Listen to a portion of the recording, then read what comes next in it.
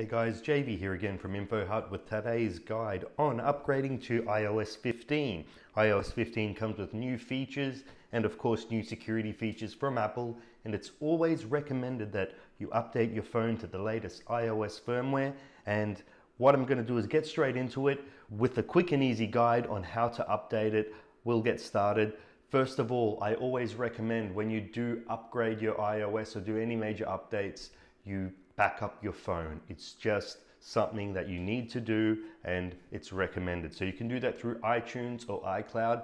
By all means, a lot of people do it without updating, but it's just a good habit to get into because one day you might lose your phone, damage your phone, and then you could be uh, stuck without all your data. So it's a good habit to get into. Now go to settings, and from settings, we need to go down to, you'll see that there's a on some phones, depending on the iOS version you do have, there's a software update available uh, slider, as you can see there.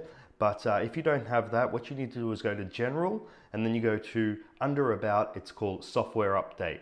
So depending on the iOS version you have, it might ask you if you want to upgrade to a uh, later version of iOS 14, which in this case, I don't want to. At the bottom, I'll go to upgrade to iOS 15. So then we click on upgrade to iOS 15. And what that will do now is download it and install it.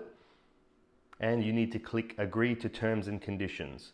So once you've done that, it'll download. This might take up to, oh, depending on your, your internet connection, up from 20 minutes to two hours. Usually it's quick if you've got decent Wi-Fi. So let it up, request the update, download, let it do its installs, any types of messages that flash up, agree to it, and then you'll be good to go. So I hope this helps. Any questions, drop a comment below, and please don't forget to like and subscribe because I'm always trying to get these videos out there to help you as much as possible. Thank you.